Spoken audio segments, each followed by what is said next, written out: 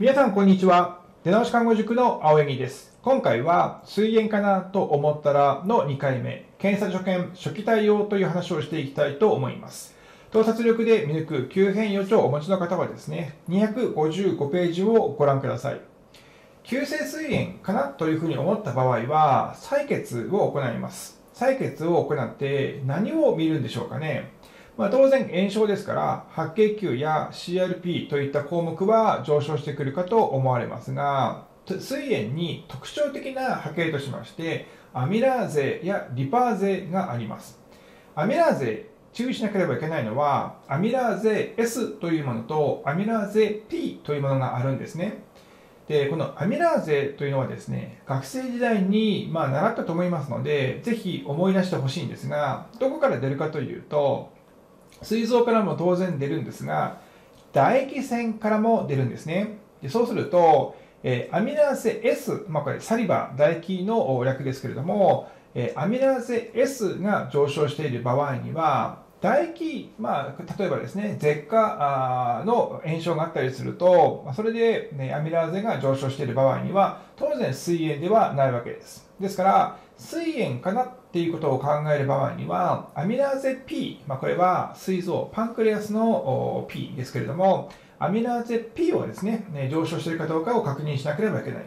一般的な検査というのはですね、アミラーゼとしか書いてないと思います。まあ、ですから、えー、膵炎かなというふうに思っている場合には、まあ、アミラーゼ P を見なければいけないと。まあ、ただですね、えー、昨日お話をしたような症状がある。まあ、例えば、え、徐々にお腹が痛いという状況になってきて、で、お腹を見たらですね、えー、まあ、グレイターナー兆候とかカレン兆候があると。そうすると、かなりの確率で膵炎が疑い、まあ、疑うことができますので、そういう状態で、まあ、ミラーズを見て上昇していれば、やっぱり膵炎だなというふうに考えることができますよね。まあ、場合によっては、リパーゼを確認するかもしれませんし、まあ、当然ね、両方とも確認するということも、まあ、普通にあると思います。そうすると、どれくらい悪いのかということを判断するために、どういう検査をしましょうかね。まあ、これは CT ですよね。えー、CT、お腹の CT を取りに行くわけですが、まあ、これはお腹の単純 CT です。えー、これを見てですね、まあ、どこが、どの臓器かというのは、まあ、なかなかね、えー、慣れないと分かりにくいところがあるかもしれませんが、まあ、単純にですね、えー、分けていきますと、まあ、こんな感じです。そうすると、えー、まあ、肝臓があるのは分かると思いますが、肝臓があって、胆のがあって、まあ、12というふうに書いてあるのは、まあ、勘のいい皆さんであればお気づきかと思いますが、十二指腸ですよね。えー、そして上にあるのがですね、まあ、胃、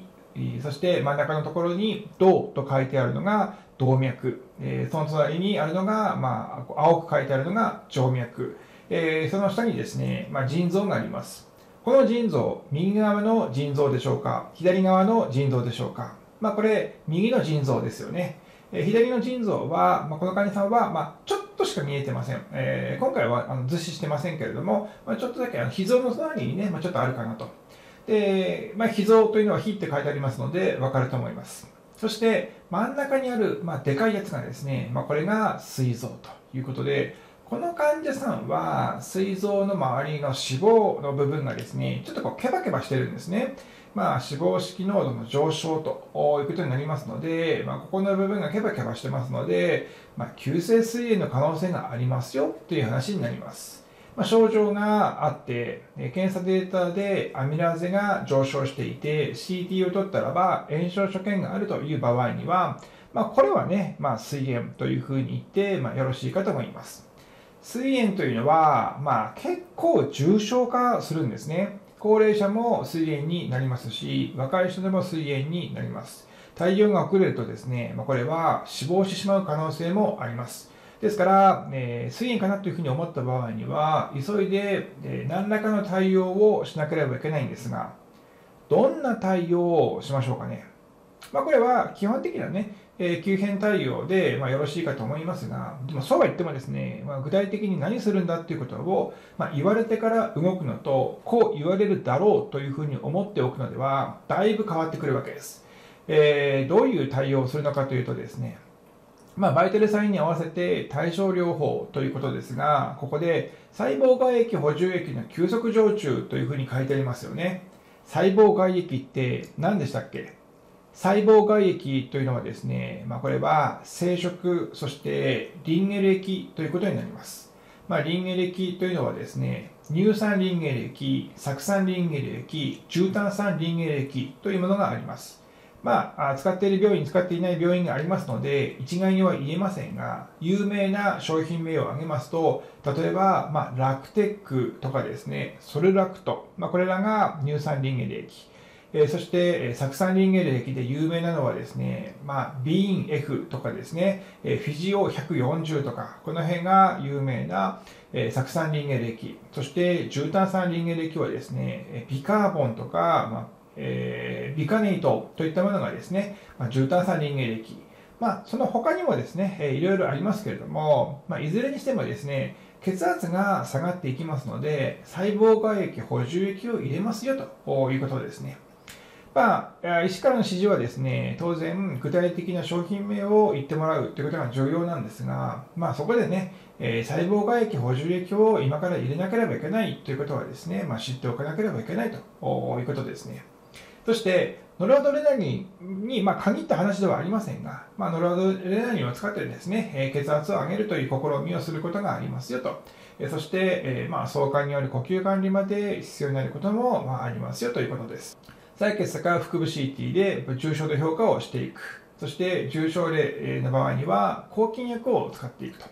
で抗菌薬は、まあ、広域で殺菌性の強いですね、まあ、抗菌薬を使っていくということなんですが、まあ、これ後から出てくるんですけれども、広域で殺菌性の強い抗菌薬って何だろうということを考えながら仕事をする、まあ、あるいは勉強すると、まあ、理解が進んでよろしいかと思います。そして、タンパク分解酵素阻害薬ということで、まあ、これ有名ですよね。まあ、消化器系で勤務されている方はですね、よく使っているかと思います。そして、かなり痛みがありますので、必ず鎮痛を入れるということですね。あとはですね、まあ、局所動中療法ということで、えー、動脈にカテーテルを持っていって、そこにですね、まあ、直接入れることもあると。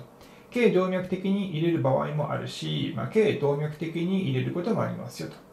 で、胆石が原因の場合には、まあ、ERCP を行う。まあ、逆光性点の胆管の、まあ、造影等を行ってですね、えー、内視鏡を行って、それで、えー、まあ、炎症を取る。まあ、石があればですね、石を取ると。あの、EST というものがありますが、えー、まあ、石がね、こう排泄しやすくなるような、まあ、そういう処置をすることがあるということで、まあ、全体的な流れをね、まあ、知っておくとよろしいかと思います。それでは、本日の出直し語録です。水アミラーゼ上昇していたら急いで CT 取りに行く。この流れを知っておこうということですね。